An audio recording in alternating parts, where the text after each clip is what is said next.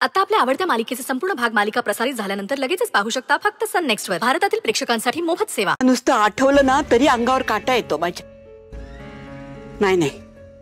अशा मुलीला घरात ठेवणं चुकीचंच आहे. आई आई तू एक काम कर. तू बस जर. बस बस बस बस. तुझा आमच्यावर विश्वास नाही का? आम्ही आहोत ना. आपल्या कुटुंबाच्या बाबतीत आम्ही कुठलीही रिस्क घेत नाही तुला माहिती आहे. हे बघ ती काहीही करणार नाही पुन्हा अशी चूक करणार नाही. आणि आम्ही तिला अशी तशी नाही पोलिसात देऊ अशी धमकी दिली आहे पण तशी वेळच का येऊ द्यायची? आणि मला समजत नाहीये. तू तिची बाजू का घेतेस सारखी? अगं बाजूने येत आहे आम्ही. पण आपल्या एखाद्या निर्णयामुळे एखाद्याचं आयुष्य उद्ध्वस्त होऊ शकतो. तेव्हा जरा विचार करायला नको का? आता तिच्या घरची परिस्थिती आम्हाला माहिती आहे बेताची परिस्थिती आहे भाऊ आजारी आहे आणि मुळात तिने चूक कबूल केली आहे तेव्हा आम्हाला वाटतं की एक संधी द्यायलाच पाहिजे. आणि काही कमी जास्त झालं म्हणजे? असं काही करणार नाही. ती लहान आहे ती. तिला काय कुठ अगं आराध्यापेक्षा लहान आहे ती. म्हणजे तुला काय म्हणायचंय? म्हणजे आम्हाला सांग. आता काल आपल्या घरात पहिल्यांदा असं घडलं की गुरुजी भरल्या ताटावरून चिडून न खाता पिता निघून गेले. चूक कोणाची? आपल्या आराध्याची. पण आपण तिला माफ केलं की नाही? मग? मग नम्रता पण आपल्या घरचीच आहे ग. चूक कबूल केली आहे तिने. माफ करूया आणि एक संधी देऊया इतकंच. पण तुला कोणी सांगितलं मी आराध्याला माफ़ केलं म्हणून? अगं असं काय करतेस? तुझी लाडकी नाचसून आहे ना? म्हणजे आपल्या घरची सून आहे. तिची एक चूक तर आपण माफ़ करणारच. एक चूक? जाऊ दे. तू तिला सून म्हणून पसंत केलीस म्हणून. नाही म्हणजे सुरुवातीला तिने आम्हाला सुद्धा आपलंसं केलं. मला तर वाटलं होतं काय गुणी आणि संस्कारी मुलगी मिळाली आपल्याला सून म्हणून. कसलं काय? पण मला पण काय? मला तिची खात्री नाही ग वाटत.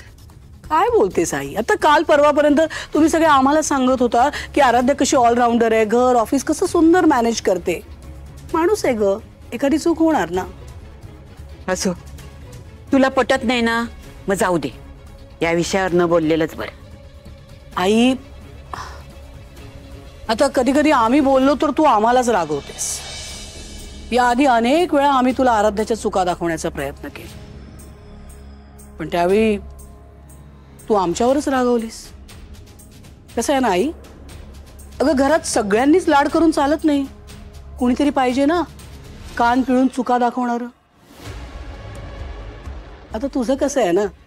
तुझा स्वभाव पडला मवाळ, प्रेमळ, मग इतरांचं फावतं. बट आय एम शुअर आता आता तुला आराध्याचं खरं रूप लक्षात आलं असेल. आलंय माझ्या मी जरा जास्तच दुर्लक्ष करते चुकांकडे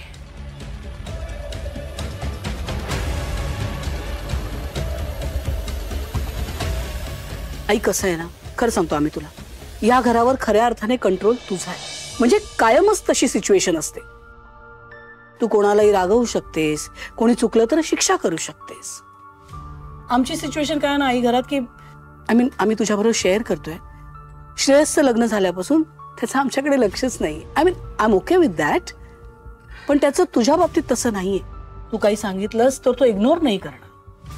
तेव्हा आता घरात जे काही सुरू आहे ना, ते जर थांबवायचं असेल, तर तुलाच काहीतरी करावं लागणार आहे.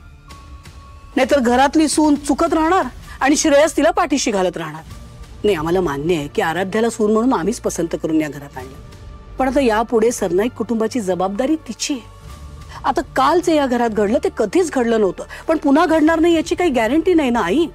तर कसं आहे की ती लाडकी असली ती आमची तरी आमची सून जर बॅक टू बॅक चुका करत राहिली तर आम्हाला नाही चालणार. आपल्या घराण्याच्या प्रतिष्ठेचा प्रश्न येतो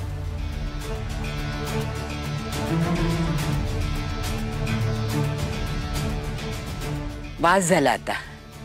जेवढं मायेने अंजारून गुंजारून सांगायचं होतं ना तेवढं सांगितलं मी तिला. आता तशी वेळच येणार नाही. ती माझ्या मनातून पार उतरली आहे बघ. आता जर काही तिने चूक केली ना तर माझ्या मनात तिला जागाच राहणार नाही बघ.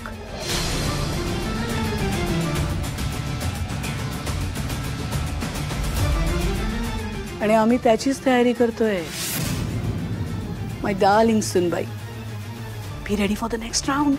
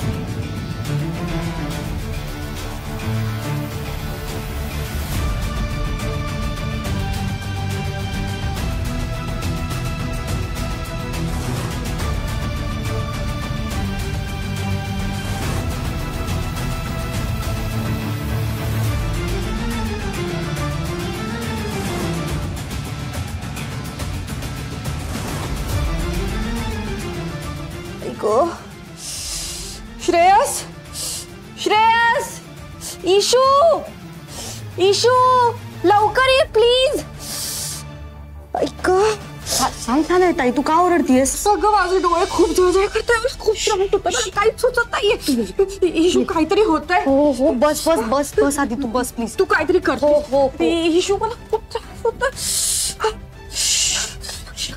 थांब थांब. काय करतेस तू? तू थांब. दुखतंय. खूप आहे शांत शांत हो शांत